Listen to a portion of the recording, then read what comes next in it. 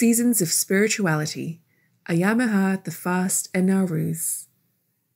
As a person of faith, I have always believed that all of us are, as French philosopher Pierre Teilhard de Chardin so succinctly put it, not human beings having a spiritual experience, but rather spiritual beings having a human experience. It is this duality of existence that has given rise to some of the questions that countless individuals have grappled with over the course of civilizations. What is my purpose in this world? How do I survive the harsh realities of life and attain comfort and security for myself and those who depend on me? And how do I do all this while also abiding by lofty ideals and higher principles of justice and compassion? What does it mean to live a life that is grounded in reality and pragmatism, while also honoring the nobility of the human spirit. If you're listening to this, it's likely that these are questions that you too struggle with from time to time. That's why this time of the year, the days spanning the Baha'i observances of Ayyam-i-Ha, the Fast and Naw-Ruz are some of my favorite in the year.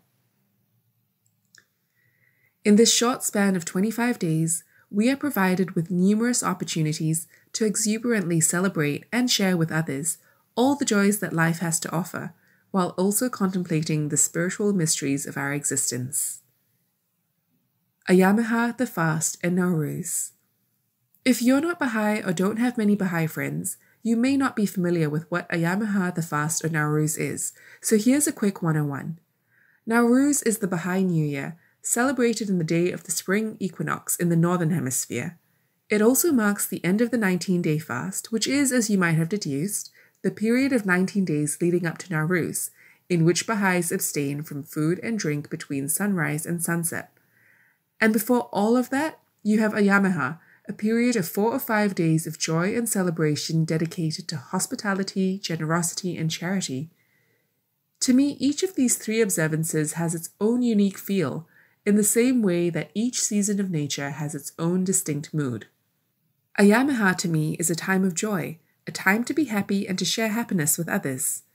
The fast, in contrast, is a period of restraint and sacrifice, an opportunity for contemplative reflection and self improvement.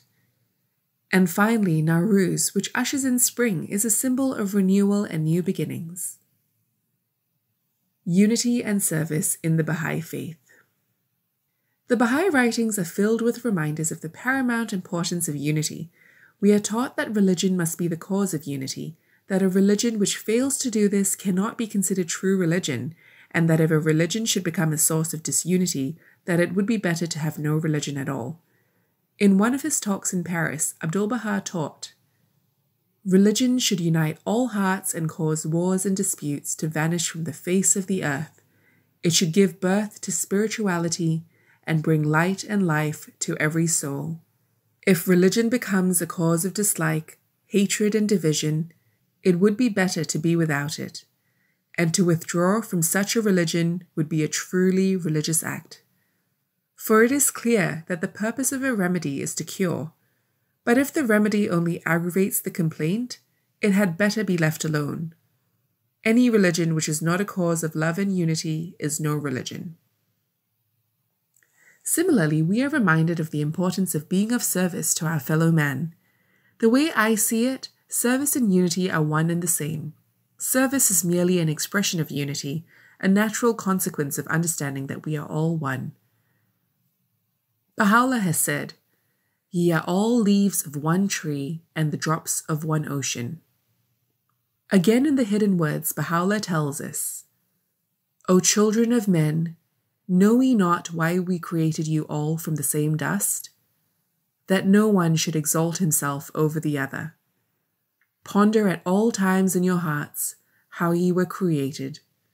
Since we have created you from one same substance, it is incumbent on you to be even as one soul, to walk with the same feet, eat with the same mouth, and dwell in the same land, that from your inmost being, by your deeds and actions, the signs of oneness and the essence of detachment may be made manifest.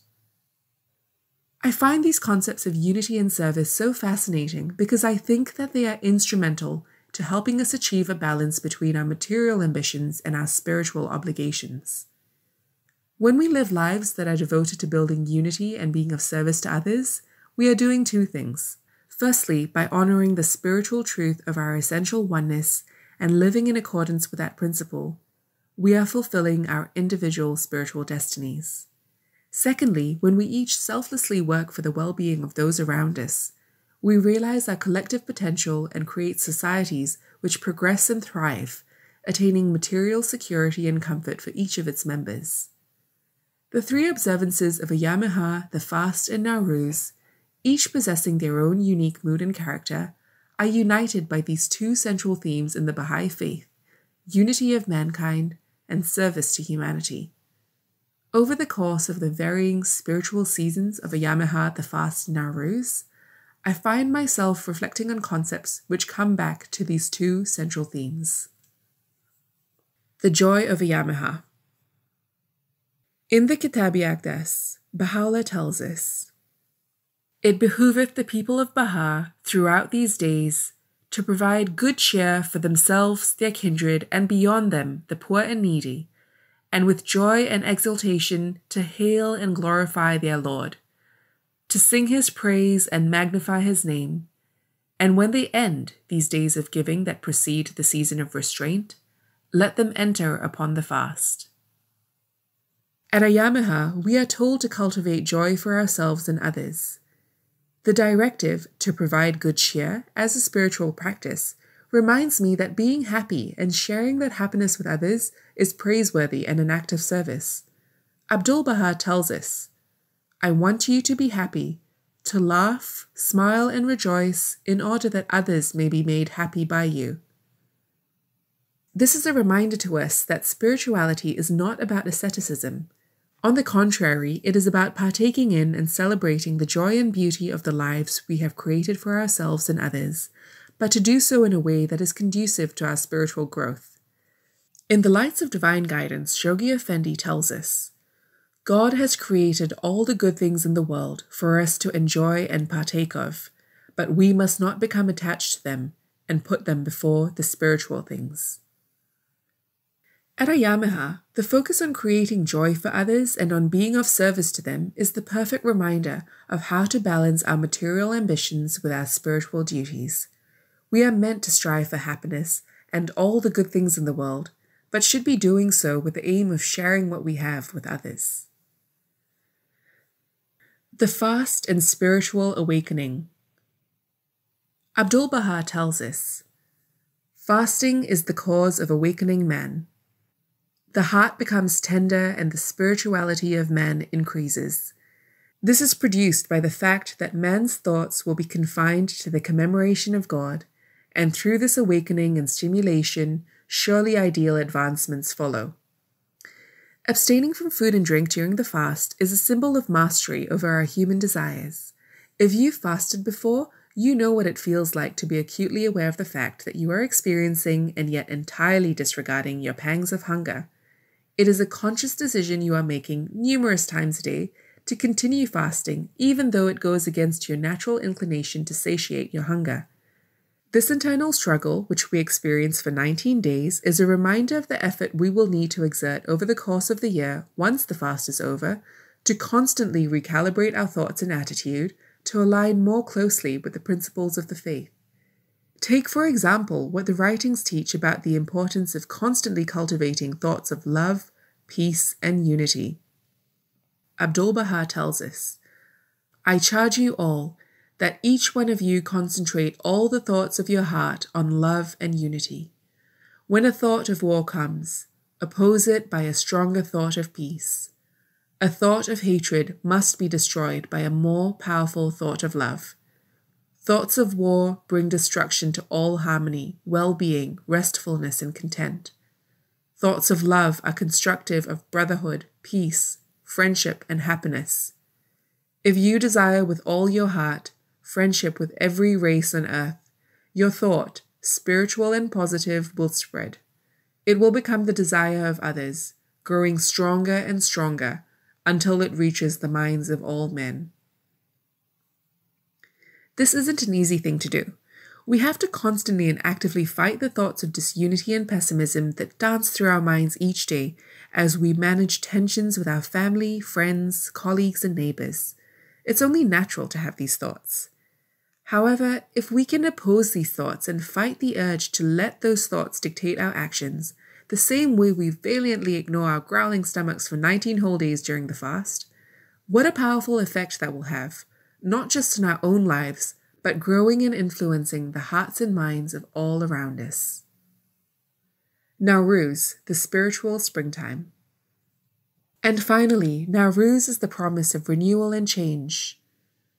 Abdul Baha describes it in these words Soon the whole world, as in springtime, will change its garb.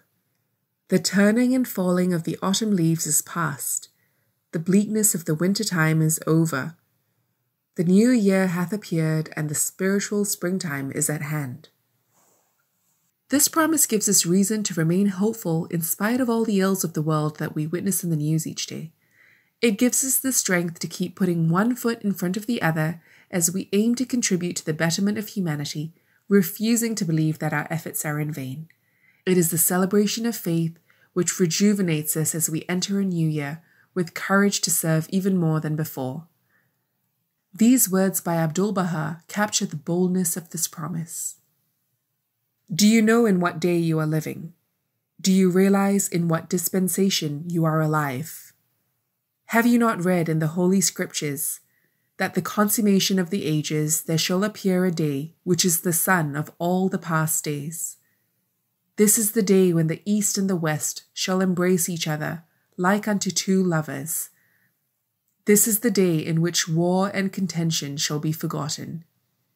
This is the day in which nations and governments will enter into an eternal bond of amity and conciliation.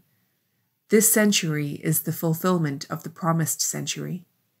The east shall become illumined, the west perfumed, and the children of men shall enter beneath the all embracing canopy of the oneness of the world of humanity. The foundation of divine religion is love, affinity, and concord. Praise God that this cycle is the period of illumination. Minds have made great progress, intelligences have been unfolded, the means of unity and agreement are brought about. Communication between the races of men is rapidly established. Now is the time that all of us may embrace the law of peace and treat each other with honesty and straightforwardness. Let the religious prejudices be wiped away. Let the law of racial supremacy be discontinued. Let political expediences be done away with. Let the love of country be superseded by the love of the world. Let us all deal with each other with infinite kindness. A new era of divine consciousness is upon us. The world of humanity is going through a process of transformation. A new race is being developed. The thoughts of human brotherhood are permeating all regions. New ideals are stirring the depths of hearts, and a new spirit of universal consciousness is being profoundly felt by all men. Happy Ayyam-i-Ha and happy fasting, dear friends. I hope these coming weeks and indeed the new Baha'i year will be a time of joy, spiritual awakening, and renewal for you and all those around you.